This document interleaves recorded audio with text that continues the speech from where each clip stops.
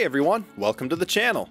In this video we're going to be taking a closer look at how The Last of Us runs on the PlayStation 3 emulator RPCS3. This emulator has seen a lot of performance and stability improvements over the last few months, as well as some user-created patches that have drastically improved how this game plays. Thanks to these updates, The Last of Us is running better than ever, and it can be played from start to finish. However, there's some major issues with the game in its current state that keep it from being considered playable. Over the next few minutes, we'll cover the settings that you need in order to run the game, as well as how it performs in general, and how a few patches can improve your experience quite a bit. We'll also take a look at some graphical glitches and crashes that you can expect to see throughout your playthrough, as well as how to get past a certain crash that may seem game-breaking at first glance. By the time we're through, I hope to leave you with a good idea of what to expect going into this game on recent builds of RPCS3, along with some insight into how to get the best performance possible and how to troubleshoot some common issues. Before we get too far though, be sure to subscribe to my channel if you're into this sort of thing so that you don't miss any future videos from me. The very first thing that you want to do before you run this game is configure RPCS3 appropriately. This game requires some pretty specific settings, and one of them is on the Debug tab which is not visible by default. To enable the Debug tab, head to your RPCS3 directory, then into this GUI configs folder. Open up the current settings.ini file with a text editor like Notepad or Notepad++. Then search for debug and set show debug tab to true. Go ahead and save this file, then open up RPCS3. Right-click on your game and set up a custom configuration. Make sure your PPU and SPU decoders are set to LLVM and SPU block size is set to safe, as anything larger than this is still very unstable with this game. On the GPU tab, just set the renderer to Vulkan and adjust the scaling to a value that makes sense for your PC. I set this to 300% for this video so that the game would be upscaled to 4K, but increasing it past 100% will impact performance a bit, especially on lower end GPUs. It's also worth mentioning that this game is locked to 720p without a patch. We'll cover this patch in more detail in just a minute, but you should expect to use it for the entire game aside from the level cargo. This patch also allows the game to run without write color buffers enabled, but just keep in mind that you will still need to enable this setting to play without the patch and get through cargo. Turning write color buffers off will increase performance a bit while using the patch, but it will also cause some things such as bodies of water to not render at all, so you may need to decide between performance and aesthetics with this setting. I personally chose to leave it off. If you experience screen tearing, you can enable VSync to get rid of it, although you may get slightly better performance with it off. Everything else is set to the default values until we get to the Advanced tab. In here you'll want to enable read depth buffers as well as read color buffers. You'll also want to increase the driver wake-up delay a bit, but there's no need to go overboard. This setting won't fix all of the crashes, but I found that a value of 600 or so made the game reasonably stable. Finally, in the Debug tab, just enable Force CPU Blit emulation. In addition to using these settings, I recommend using a DualShock controller to play this game. It's not necessarily required, but you do need motion controls for certain things like fixing your flashlight when it starts to go out.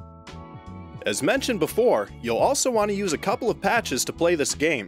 I've combined them into a single patch file for you to download in the description.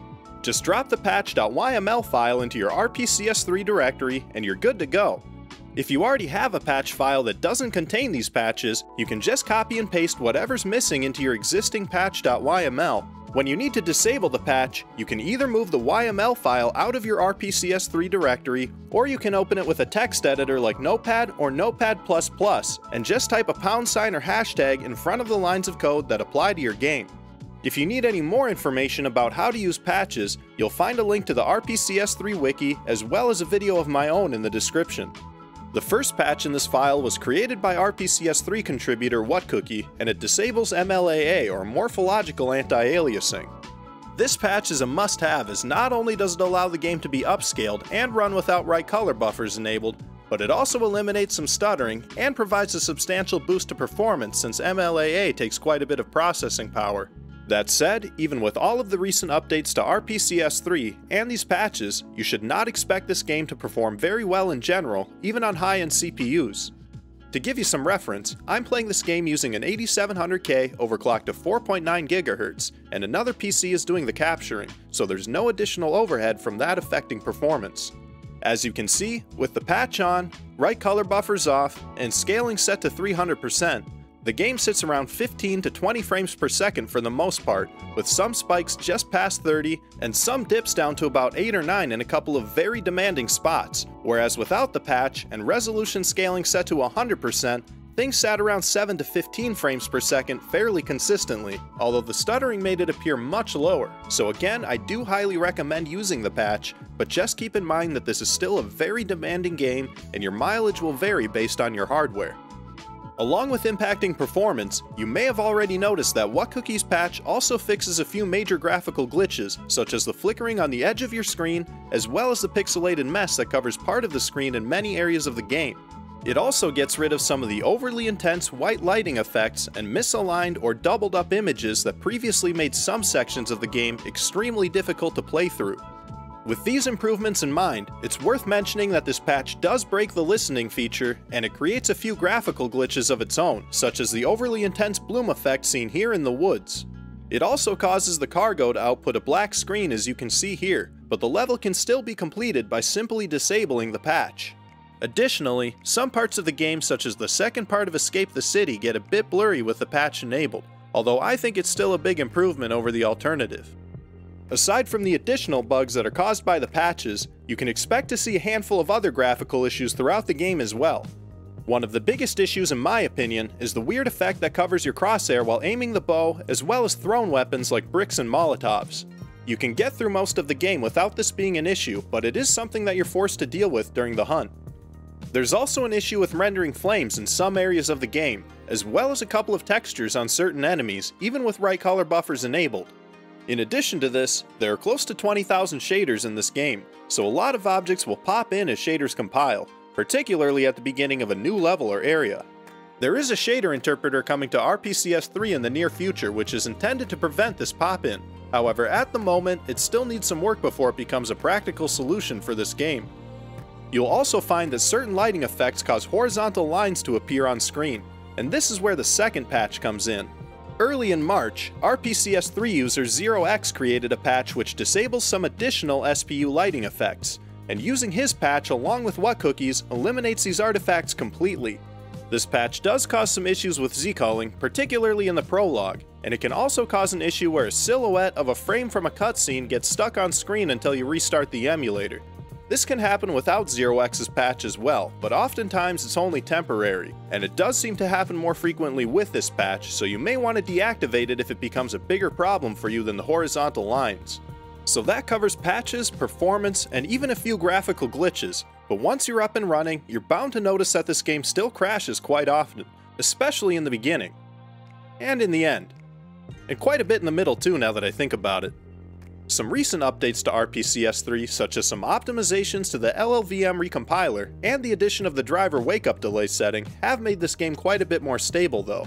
I played for about 20 to 60 minutes at a time with a couple of longer stretches, and I only experienced two or three crashes until I got almost halfway through the game. In previous builds, I could expect one or two crashes in the prologue alone, so this is quite an improvement.